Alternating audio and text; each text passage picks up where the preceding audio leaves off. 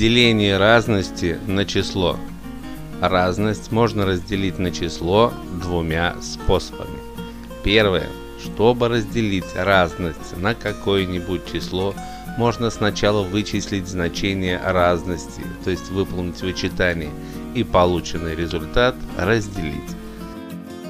Например, чтобы найти значение данного выражения, можно сначала вычесть из 24 число 8 и полученную разность разделить на 2.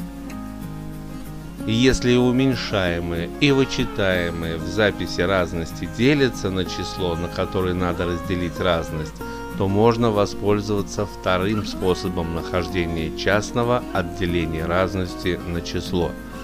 Второе.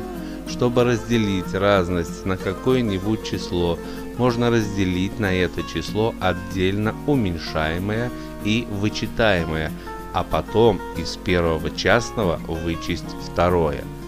Например, чтобы найти значение данного выражения, можно отдельно уменьшаемое и вычитаемое разделить на число 7 и найти разность полученных частных.